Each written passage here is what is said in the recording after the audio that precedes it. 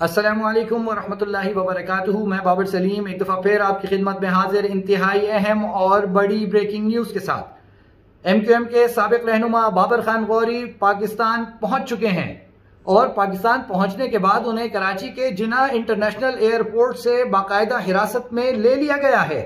बाबर खान गौरी सियासत से लाताल्लुकी का ऐलान कर चुके हैं।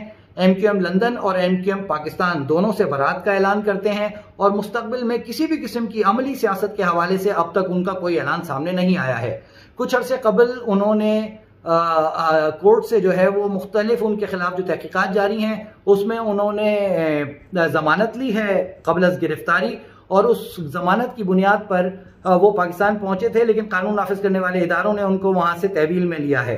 कौन से दो केसेस हैं, ये मैं आपको बताता हूँ। पहला केस जो है इनके ऊपर, वो सन 2008 से 2013 के दौरान, जबकि ये वफाकी वज़ीर थे पोर्ट्स एंड शिपिंग के, महकमा पोर्ट्स एंड शिपिंग में गैर कानूनी भर्तियों के हवाले से है। और इस केस में ये मतलूब और इश्तिहारी थे, और इन्होंने इस केस में जो है वो जमानत कबल गिरफ्तारी ले रखी थी।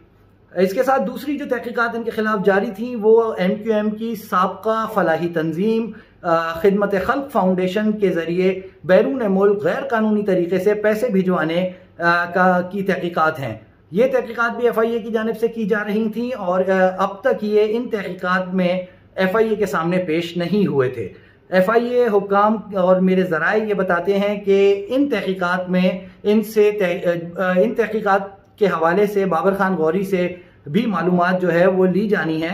लेकिन वो चूँकि मुल्क से बाहर हैं यूस्टन में इस वक्त वो कारोबार कर रहे थे, उनकी फैमिली जो है, वो पूरी यूस्टन में मुकीम है और उनको इस हवाले से एफ़ आई ए जो है, वो चाहती है कि वो पेश हों और तहकीकात का सामना करें। बाबर खान गौरी ने अब से कुछ अर्सा कबल ये ऐलान किया था कि वो पाकिस्तान आ रहे हैं, जिसके बाद कानून नाफिज करने वाले इदारे अलर्ट थे। क्यों अलर्ट थे? ये बड़ी अहम चीज़ है।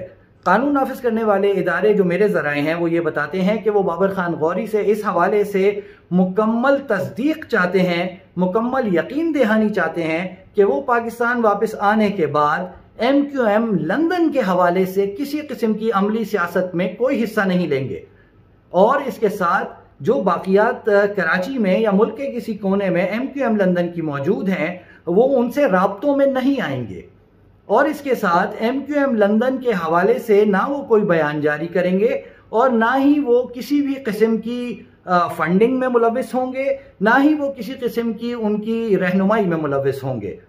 ये बहुत अहम खबर है। बाबर खान गौरी का अचानक पाकिस्तान वापस पहुँचना एक ऐसे वक्त में जब एम क्यू एम पाकिस्तान के मुख्तलिफ़ धड़े आपस में रबतों में हैं। डॉक्टर फारूक सत्तार और एम क्यू एम पाकिस्तान के जो रहनुमा हैं, मुख्तलिफ़ जो टॉप लीडरशिप है बेसिकली खालिद मकबूल सिद्दीकी खसूसी तौर पर वो उन आपस में रबतों में हैं और महसूस एक वक्त में ऐसा हो रहा था कि शायद अब ऐलान हुआ कि तब ऐलान हुआ कि फारूक सत्तार ने एम क्यू एम पाकिस्तान से जो है वो, जो उसमें शमूलियत इख्तियार कर ली।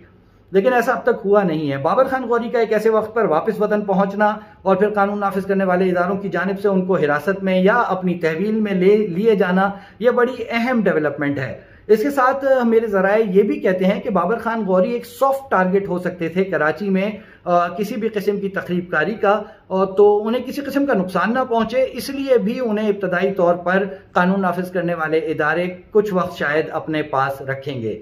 ये एक बड़ी डेवलपमेंट है और पाकिस्तान की सियासत में खसूस कराची और सिंध की सियासत में अगर बाबर खान गौरी कोई एक्टिव रोल अदा करने वापस पहुँचे हैं तो ये बहुत ज़्यादा अहम शख्सियत होंगी इस वक्त कराची में, क्योंकि जो कराची का उर्दू बोलने वाला फैक्टर है, जो महाजर कहलाते हैं उनके पास इस वक्त बज़ाहिर लीडरशिप का फुकदान नज़र आता है।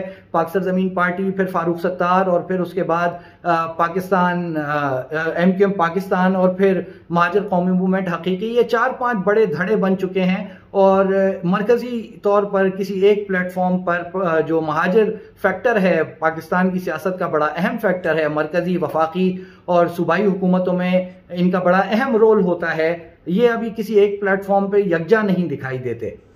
तो बाबर खान गौरी अगर वापस आकर अमली सियासत में कोई किरदार अदा करेंगे तो फिर वो एक अहम शख्सियत के तौर पे सामने आ सकते हैं। इस वक्त की मेरी जो मालूम हैं, उसके मुताबिक बाबर खान गौरी को नामालूम मकाम पर मुंतकिल किया जा चुका है और आगे आगे देखिए क्या तफसीलात आती हैं। बाबर सलीम आपको इस हवाले से इन मुकम्मल अपडेट्स वक्त पर पहुँचाता रहेगा।